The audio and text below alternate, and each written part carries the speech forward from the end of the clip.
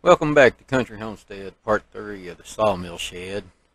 We're trying to finish up the front half of the sawmill shed. In this video, we'll be showing you us finishing it and putting the roof on it and actually start cutting a little bit of wood for the front porch. Here you see me on the roof. I'm starting to burn all the slats and the rafters and everything that's not burnt, like the back beam and the front beam. We're getting them all burnt, getting it ready to do our treatment to it. Here's my wife. She's down here on the bottom half, burning underneath it when I got all the top. She's a little taller than I am, so she uh, she can reach a little better. I'm short. That blowtorch we're using is actually a homemade blowtorch. My dad had a friend that made it for him, and and uh, I took the short hose off of it, and I actually put one of my half-inch airline hoses on it. And I took the fittings off and just screwed it straight to it, and I had a 50-foot hose on it, so uh, we could pretty well reach all we wanted. And here we're doing the the 50-50 fuel and oil treatment. I got it done pump up sprayer and uh, spraying it all down, letting it soak in.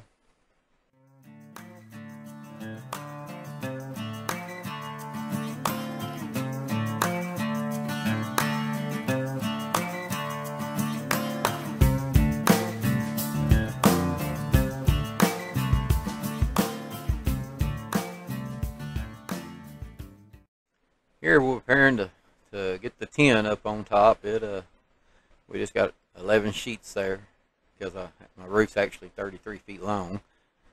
The coverage, uh, the posts are 30 foot on the inside, but uh, we just put it on the tractor and lift it up there, and me and my wife will get up there and start spreading it out. Now, when we start laying this tin out, I pretty well only put a few screws in it just to hold it down so the wind don't take it. And we get it all spread out so we know that we got it even and it all laid out right across the top of the shed because, you know, you never want to start screwing your, your roof down and get to the end and realize you got a half a sheet off or so, you know. So we, we uh, just put a few screws in it.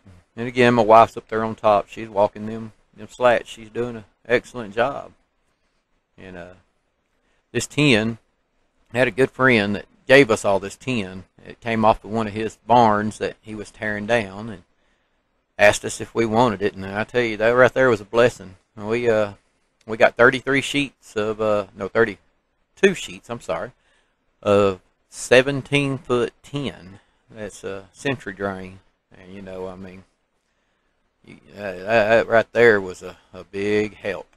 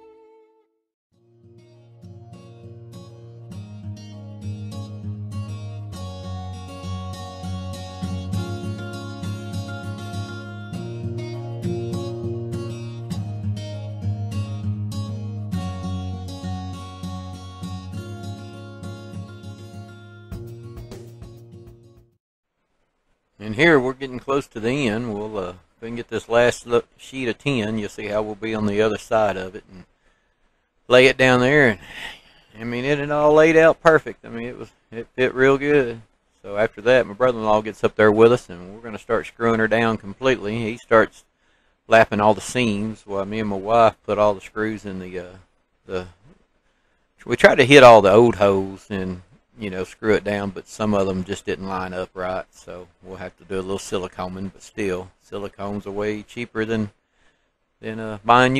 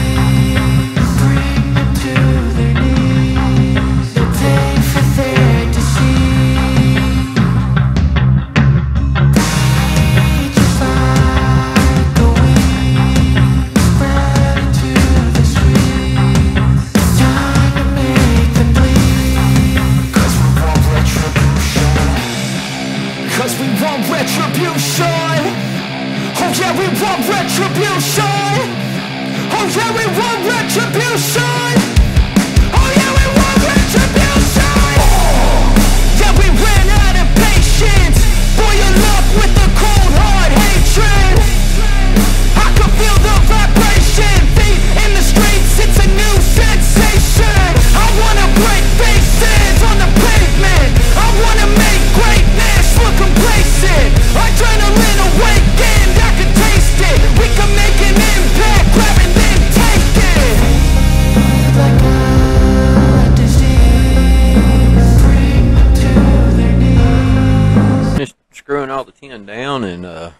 Still got a little daylight, so we we start doing a little resawing. We got some posts that we left over that six by six, and we start sawing them down, making some four by fours and some four by sixes and some two by fours, so we can start on our front porch. And that's actually what we start the next day, and that's going to be the next series of videos is uh, our front porch build.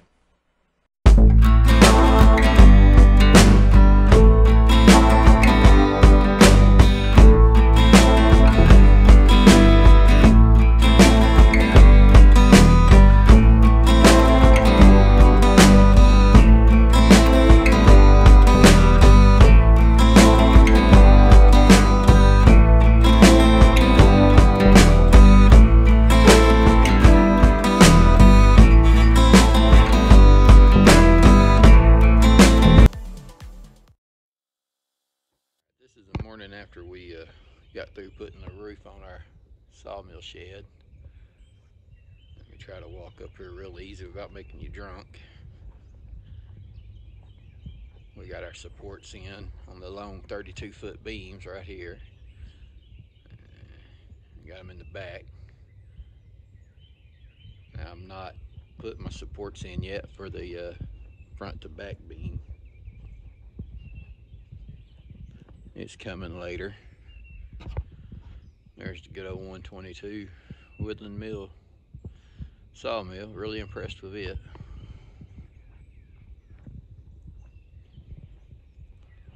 We got all our wood burned. And we also got it treated with a diesel and oil mix 50-50. There's the back beam. Now this here is the front part of the shed and the, we're going to build another back part that's going to be another 15 by 30 coming off the back side that's going to cover all this back here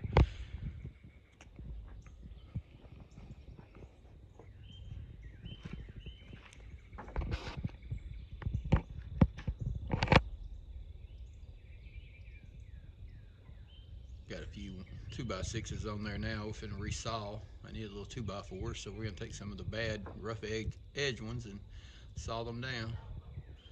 Finna start working on the front porch of our house as we're gonna stay cutting for the back part of the shed.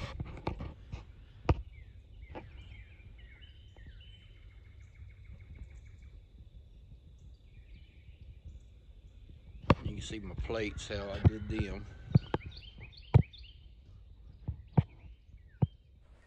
And again, we had a good weekend here. We uh, we got a lot of work accomplished, and uh, just wanted to say thanks to all the family that was there that that helped us out and that uh, helping us on this journey to to get all of it done. We really appreciate it, and we appreciate y'all taking your time to watch these videos. And if you would like and subscribe, we want to see if we can get this little channel going pretty good. Thank you for your time.